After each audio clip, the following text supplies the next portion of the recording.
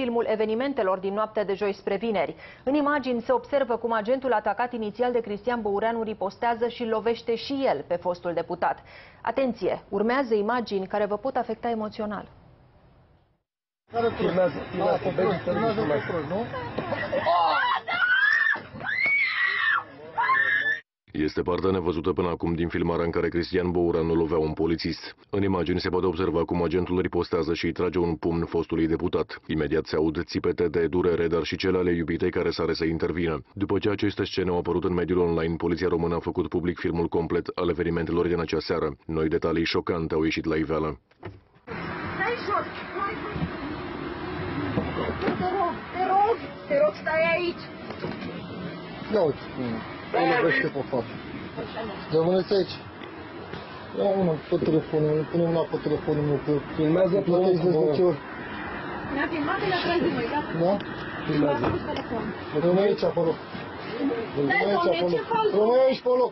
De ce? Rămâi aici, pe loc, Pentru vă spune. ce? Pentru că așa spune Spune poliția. pe Așa înregistrare. spune poliția, să rămâi aici, pe loc, da? Rămâi aici, pe loc. O să ți se tomească dosar până pentru ultraj. Am jurat de toate felurile. Uite, mi-a dat peste mână cu ușa. Să nu pe mâna. Uite, domnule, uite aici, mi-ai tris- mi-ai dat cu ușa peste mână, da? Respectiv, nu am Deci facem dosar pentru ultraj și vătămare corporală. Uite, liniștesc eu mâine de dimineață, fără niciun fel de problemă. Că acum nu pricep, că ești băut. Totul ar fi pornit după ce mașina în care erau pasageri Cristian Băureanu și partenera lui Laura Dincă a fost oprită în trafic pe bulevardul aviatorilor. Deși șoferul lui Băureanu a fost legitimat și s-au înapoiat actele, fostul parlamentar a insultat polițiștii, iar unia dintre ei ar fi prins degetele în portieră, lovindu-l apoi cu genunchiul. Filmează, filmează.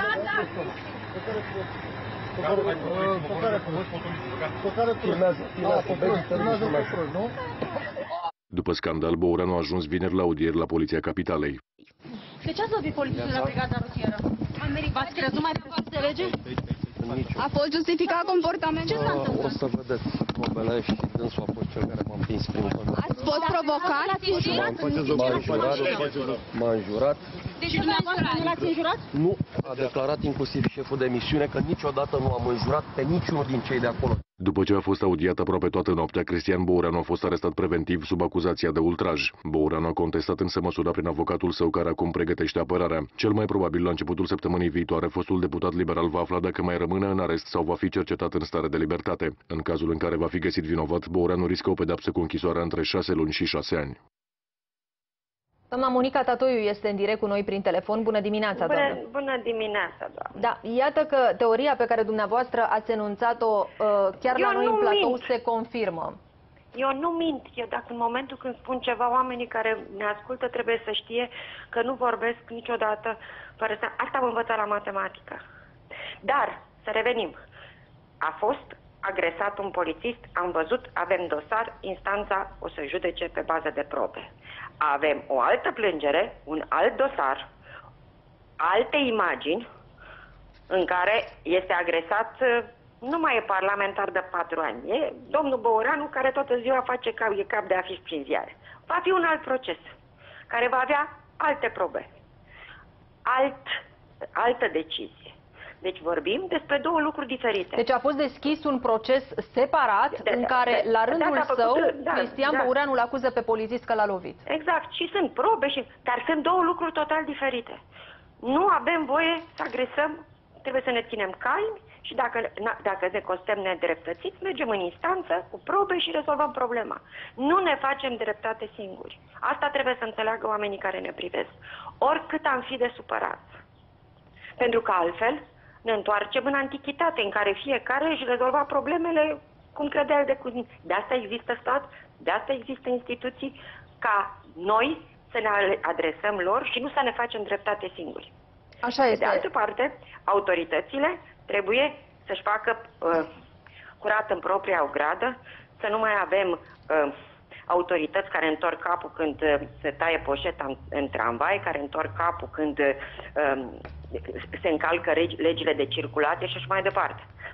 Deci, și de o parte și de cealaltă trebuie să privim critic, cu bune și cu rele. Aș fi vrut Asta să vă întreb face ce un popor noutăți deștept. aveți din interiorul familiei. Care este starea lui Cristian Băureanu? Ieri ne spuneați în platou că starea lui nu era foarte bună, că avea Nu e probleme, bună. că nu auzea bine cu o ureche și așa deci mai nu departe. aude bine. Trebuie să facă, un- trebuie să facă un, uh, un test uh, cu, aparat, cu audiometru, dar uh, la, la spital nu există. na, Spitalul de urgență din București, apropo de România, nu are audiometru. Nu are audiometru, vă dați seama? Și el trebuia să facă, dar l-au scos și eu cred că l-au scos pentru că dacă stătea prea mult în spital avea zile de îngrijiri medicale și în celălalt proces uh, erau cauze agravante. Da, instanța o să hotărască. Justiția nu se face la televizor. Dar Uh, trebuie... în contextul în care a fost deschis un alt proces în care Băureanu îl acuză pe polițist că l-a lovit din ceea ce și, se vede și imagine. Băureanu, stați puțin, și Băureanu, dar este, a fost la, medic, la medico legal și domnișoara, că și ea este, am văzut, are, e, chim, e, nu știu cum se numește, e lovită la braț. După Dar pe cum ea au cine a apucat. lovit-o, doamna Tatoiu? A apucat un polițist să o împiedice să, așa spune ea, încă o dată, eu nu sunt judecător. Ea spune că a apucat un polițist și a, a, când i-a luat telefonul, când filma, o să stabilească instanța dacă e adevărat. Întotdeauna, în orice speță, există două poziții. În orice, cu excepția matematicii. Asta trebuie să înțeleagă oamenii care ne urmăresc. Bun, dar Este- uh, toate problemele de sănătate pe care le-ar fi avut uh, Cristian Băureanu în urma Le are. acelei altercații și le are, uh, ar fi fost de la acea ripostă a polițistului sau ar fi Da. urmat o altă repriză la secție? Nu cred. Nu că el a spus că n-a fost lovit la secție. El a spus-o cu gura lui. Deci cred că uh, lovitura, nu știu dacă ați văzut în imagini, lovitura a venit de jos în sus, ea uh, ma- l-a, l-a lovit în maxilar, i-au sărit dinții, după care a, a, a, pumnul s-a dus în sus și a distrus sinusul. Și cred că la ureche, a, prin cădere s-a lovit. Asta cred eu, dar eu nu sunt judecător și, sau doctor legist. Dar ce cred eu din ce am văzut? Că la ureche s-a lovit în cădere. Da, vă mulțumesc Dar foarte e mult. aceeași, pove- aceeași poveste cu bătrâna care s-a, s-a bătut cu violatorul și el a căzut și a murit. Da, așa e. Mulțumesc foarte mult, doamna Cu drag, Monica cu Tatoiu drag. a fost și o avem de asemenea la telefon pe avocata lui Cristian Băureanu, doamna Luiza Popescu. Bună dimineața, doamnă, vă mulțumim. Bună dimineața! Înțelegem că a fost deschis un alt proces în care uh, Cristian Băureanu îl acuză pe polițist că l-a lovit, asta în urma filmului întreg pe care l-am văzut și noi în această dimineață? În urma susținerilor domnului Băureanu, săptămâna trecută a fost înregistrată o plângere penală în fața parchetului de prenduri judecătorial sector 1 privind uh, suferirea infracțiunilor de lovire sau alte violențe, vătămare corporală, care se află în curs de cercetare.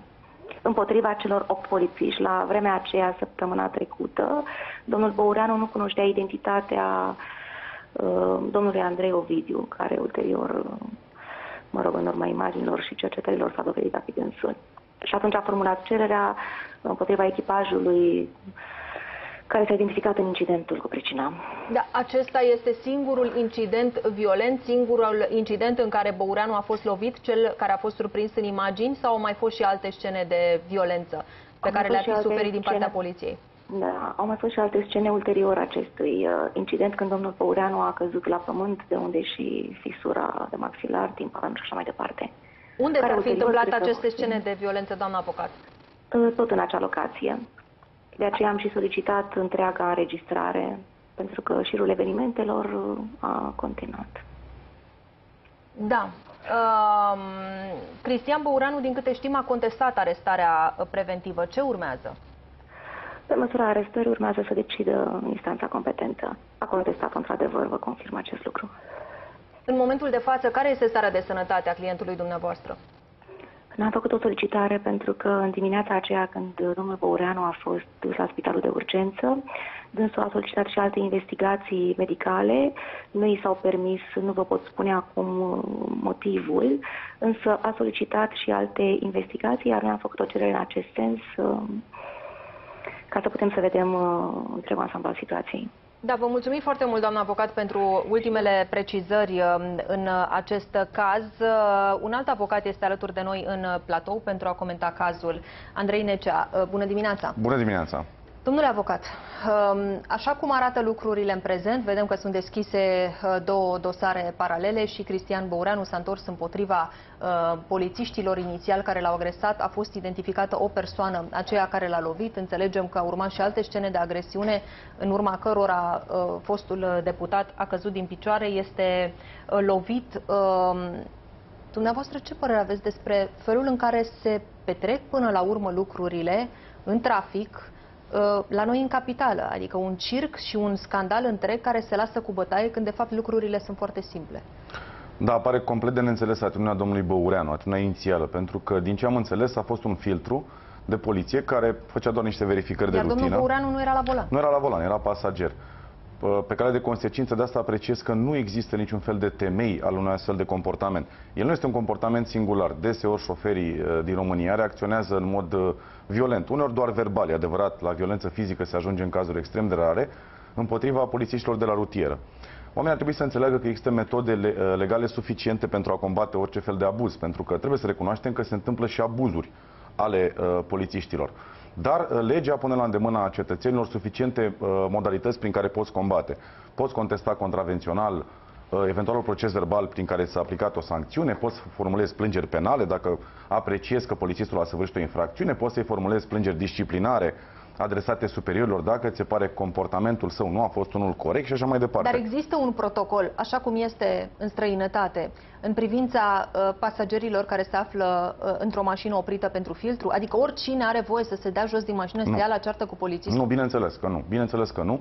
Pasagerii nici nu au o legătură cu constatarea acelei contravenții. Contravenția este săvârșită de către șofer și șoferul este sancționat. Nu este sancționată mașina, sunt sancționați pasagerii. Doar șoferul pasagerii nu ar trebui să facă altceva decât să-și vadă de treaba lor, efectiv. Nu ar trebui să intervină în acest raport între polițiști și conducătorul auto. Da. Ehm, aș fi vrut să vă întreb, în contextul uh, de față, ce riscă Cristian Băureanu și ce șanse are ehm, să aibă succes în acest demers de a contesta arestarea preventivă? Ehm, el cu siguranță a fost uh, acuzat că s-a și anunțat și a fost arestat preventiv pentru că există suspiciuni rezonabile că ar fi săvârșit infracțiunea de ultraj, prevăzută la articolul 257 Codul Penal. Această infracțiune este una destul de complexă. În ce sens? Are mai multe elemente materiale, fie că vorbim despre amenințare, de loviri și alte violențe și vătămare corporală gravă sau chiar omor. Uh, ultrajul este o variantă agravantă a infracțiunilor pe care vi le-am enunțat anterior, săvârșitea asupra unui polițist. De exemplu, dacă îi va fi acuzat de ultras sub forma lovirilor și alte, și alte violențe, Uh, va risca o pedeapsă dacă, dacă lovirile sunt până la 2 ani, se va majora cu jumătate, deci până la 3 ani. Practic, infracțiunea de bază, care vorbim, care, despre care vorbim acum, amenințare, loviri și așa, mai, de, așa mai departe, se majorează cu jumătate în cazul în care este săvârșit asupra unui polițist aflat în exercitarea atribuțiilor de serviciu. Da, uh, dacă nu mă înșel, uh, tot dumneavoastră erați la noi în platou când am uh, comentat un alt caz în care un tânăr fusese oprit, un tânăr de Bangata da. fusese oprit în trafic și tot așa un dispozitiv impresionant de polițiști la un circuit, tânărul era blocat în mașină, făcea tot felul de semne obscene și bătea joc de polițiști, ce da. să mai... De ce se întâmplă lucrurile acestea la noi în țară, domnule Nenecea? Nu are poliția suficiente pârghii cât să se facă respectată? Poliția are suficiente pârghii legislative să facă respectate, deși avem și acolo anumite probleme legate de reglementarea folosirii forței în raport cu persoanele recalcitrante. Uh, cred că această, această situație actuală nu este altceva decât rezultatul a multor ani în care polițiștii care au folosit uh, forța au fost râți mai departe prin tot felul de procese, proceduri administrative și așa mai departe, fapt ce a generat o oarecare temere în folosirea forței. Cred că și polițiștii se tem de multe ori să folosească forța. Infracțiunea de ultraj asupra polițiștilor de la rutieră sunt extrem de frecvente și de multe ori sunt trecute cu vederea. Dacă ați observat în imagini, până la fi lovit acel polițist, acel polițist a fost și amenințat, am văzut imagini, filmări ceva mai complete, a fost și amenințat și a existat și o primă tentativă de agresiune asupra lui.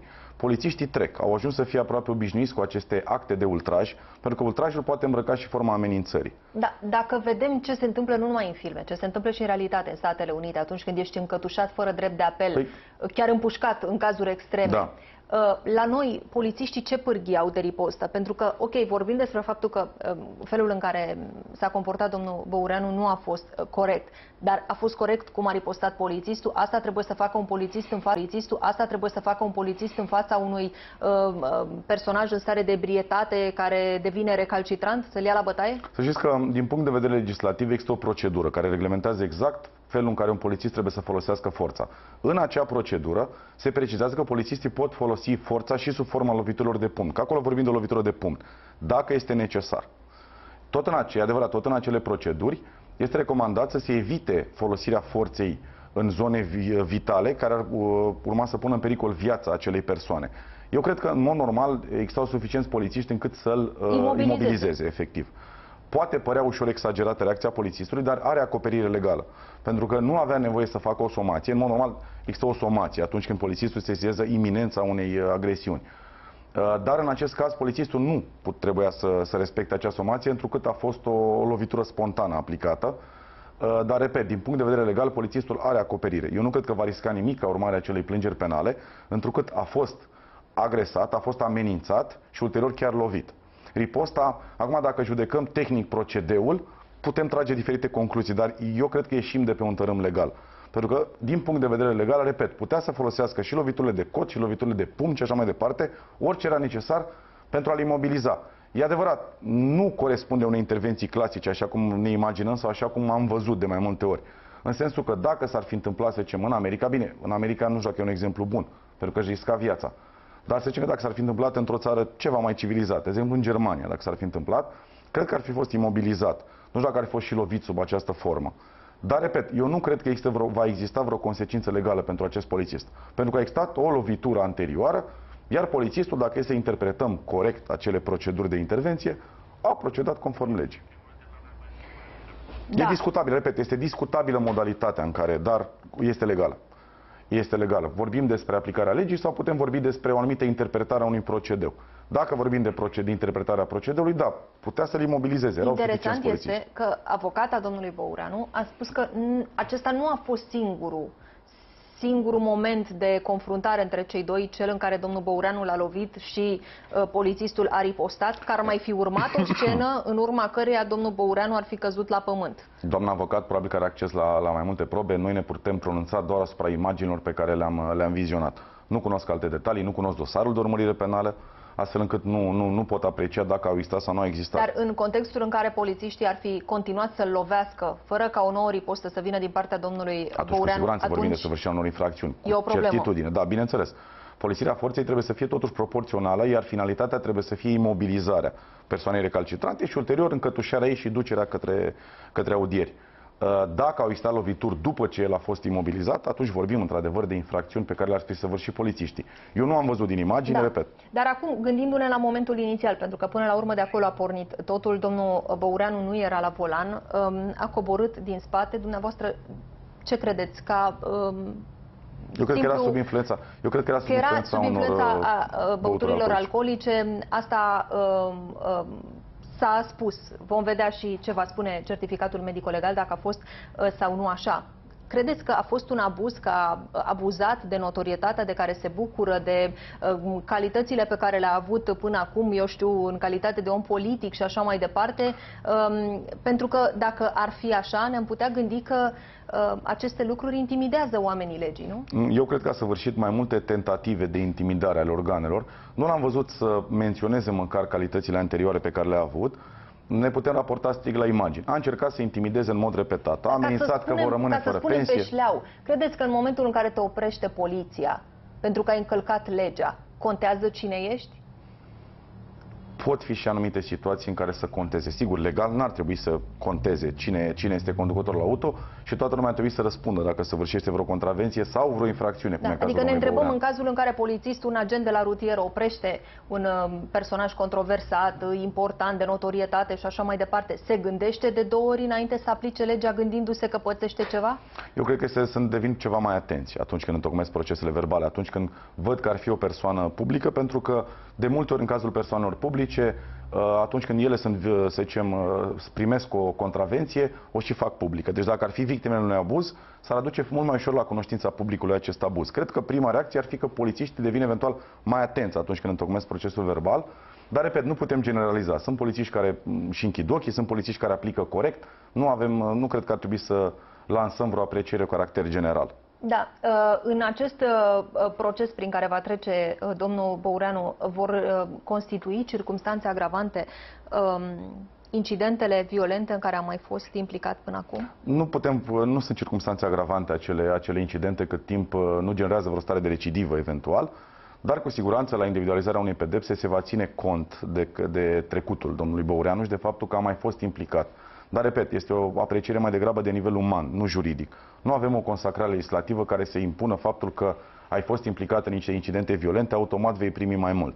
În drept vorbim despre recidivă și așa mai departe, despre uh, infracțiuni pe care le-ai săvârșit anterior. Faptul că ai fost implicat în câteva scandaluri nu justifică majorarea pedepsei. Dar, repet, la nivel uman este o situație de fapt de care judecătorul poate să țină seama. Da. Pentru că vorbim de o persoană care are, să zicem, cel puțin din ce am constatat în ultimii ani, are anumite, anumite Derapaje. porniri violente. Da. Da. Care ar fi pedapsa um, care l-ar putea, pe care o riscă Cristian V-am Băureanu? explicat. uh, Depinde de forma. Ultrajul nu este o infracțiune foarte simplă. Sunt mai multe modalități prin care se poate săvârși ultrajul. Un minim și Putem un vorbi maxim. de, cred că undeva uh, între 2 și 4 ani. Dar, repet,